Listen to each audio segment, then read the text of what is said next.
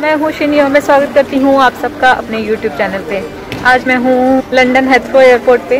हम लोग ट्रैवल कर रहे हैं इंडिया हम लोग इंडिया जा रहे हैं और ये बहुत ही अनएक्सपेक्टेड ट्रिप है क्योंकि हम लोग काफ़ी टाइम से प्लानिंग तो कर रहे थे बट हम लोग जा नहीं पा रहे थे। इस बार इतनी जल्दी जल्दी में पैकिंग सब कुछ हुआ है क्योंकि सिर्फ़ दो दिन पहले ही हम लोगों ने टिकट्स बुक कराई और डिसाइड किया कि हम लोग इंडिया चलते हैं क्योंकि टाइम्स का पता नहीं चल रहा।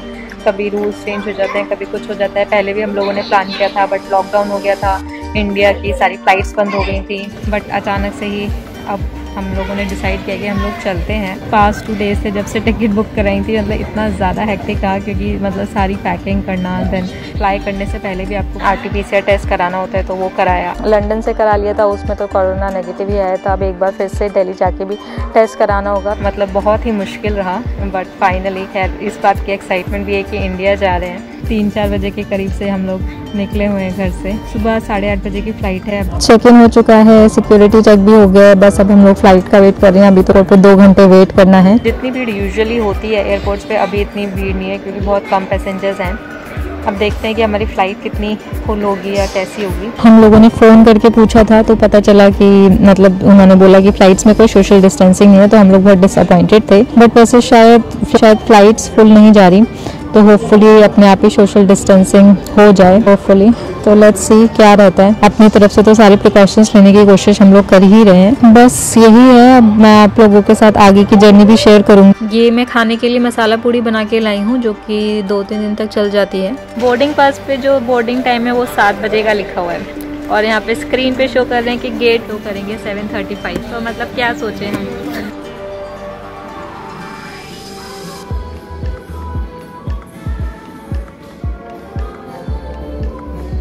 गेट्स भी अनाउंस हो गए हैं। हमारा एट फोर्टी फाइव के तो सात, सवा सात बजे से इन लोगों ने गेट पे बुला लिया है। तो अब देखते हैं बोर्डिंग कितने बजे शुरू करते हैं।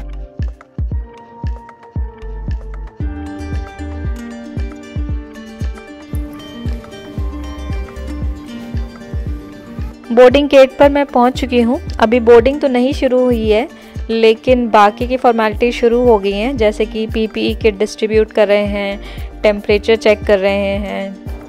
ये देखिए, ये पीपीई किट एयरलाइन वालों ने हमें दी है, जिसमें एक वाइसर है दैट इज़ फेस शील्ड एक माउथ मास्क है और चार पाँच सैशे हैं सैनिटाइज़र के। फेस शील्ड भी पहन लिया है मैंने और फ़्लाइट बोर्ड करने से पहले सबको फेस शील्ड पहनना मस्ट है। अब टेम्परेचर चेक करने के लिए बुलाया हुआ है तो मैं वही टेम्परेचर चेक कराने जा रही हूँ। फाइनली बोर्डिंग हो गई है। अब यहाँ पे सीट्स पर हमें ये स्नैक बॉक्स रखे हुए मिले हैं, पहले से ही। लकीली पैसेंजर्स ज़्यादा नहीं हैं तो सोशल डिस्टेंसिंग अपने आप ही हो गई है। अभी अनाउंसमेंट हुई है कि एज अ प्रिकॉशन ब्लैंकेट्स नहीं दिए जाएँगे और फिर जो यूजुअली इन फ्लाइट्स में रेगुलरली जो ड्रिंक्स सर्व की जाती हैं सॉफ्ट और हार्ड ड्रिंक्स वो सर्व नहीं की जाएँगी।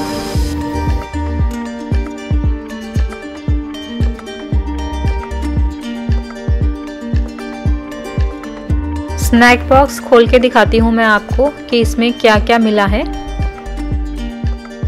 ये है स्नैक बॉक्स इसमें सबसे पहले हैं ये पेट्सल्स एक मफ़िन ये क्रॉइजॉन्ट है, उसके बीच में चीज़ लगा हुआ है, एक ऑरेंज जूस है कटलरी है, एक water bottle strawberry yogurt oats crunchy bar chocolate biscuits ketchup ये बैग वेस्ट डिस्पोजल के लिए दिया गया है। ये डिस्पोजेबल हेडसेट्स भी मिले हैं। थोड़े स्नैक्स खाकर मैंने एक मूवी देख ली, फिर थोड़ा सो ली थी मैं। उसके बाद फिर लंच आ गया था। लंच काफ़ी लेट मिला था इस फ़्लाइट में। ऑलमोस्ट आधी से भी ज़्यादा जर्नी ख़त्म हो गई थी। उसके बाद आया था लंच लंच बॉक्स में एक ब्रेड है, एक गुलाब जामुन है स्ट्रॉबेरी योगर्ट है प्रेटल्स अगेन अचार, ये है बटर, उसके साथ है आलू पराठा और veg biryani with salan. Lunch के साथ कोल्ड ड्रिंक या फिर बियर भी दे रहे थे।